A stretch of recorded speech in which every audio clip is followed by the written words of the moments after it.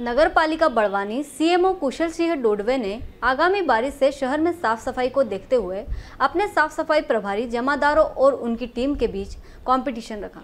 जिसके तहत अंबेडकर वार्ड का नाला, जो काफ़ी लंबे समय से जाम था, उसकी साफ़ सफ़ाई की गई। चंद घंटों में नाला साफ़ हो गया। सफ़ाई के जुनून देख सीएमओ कुशल सिंह डोडवे सभी जमादारों को ट्रॉफी देंगे। सीएमओ ने कहा कि सभी ने काम अच्छा किया। दिन भर का काम चंद घंटों में हो गया।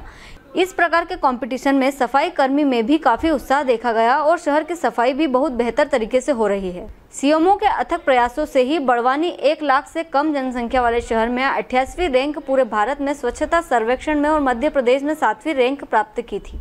बड़वानी से अतुल कुमावत की रिपोर्ट। ये हमारा बरसात बरसात से पहले नालों की सफ़ाई का अभियान है। कंपटीशन इस प्रकार है कि कल मैंने मेरे सारे जमादारों को बताया था कि हमको ये मेडी के पास से अंबेडकर नाला तले से साफ़ करना। कल इन्होंने लगभग लगभग 12-13 ट्राली निकाल के फेंक दिया जिसमें लगभग 50 लोग थे। आज मेरे पास 110 से अधिक लोग हैं और जमादारों ने मुझसे कहा कि ट्रॉफी हमने खरीदी है जो टीम फ़र्स्ट आएगी उसको ट्रॉफी दी जाएगी। लेकिन हम सुबह से देख रहे हैं सात बजे से अभी टाइम हो रहा है। बारह बजे तक इन लोगों ने बिना आराम के कंटिन्यू काम किया। और मेरा एक जमादार नहीं जीता सारे ही जमादार एक नंबर पे आए। इसके लिए मैं इनको ट्रॉफी मेरी तरफ़ से दूँगा पंद्रह तारीख पंद्रह जून। सभी को दूँगे क्या? सभी को मतलब जो जमादार है उनको सारे जमादारों को ऐसा अभियान आगे भी चलाओगे आगे भी चलेगा। मेरे पास सारी युवा लोगों की टीम है बहुत उत्साहित लोग हैं।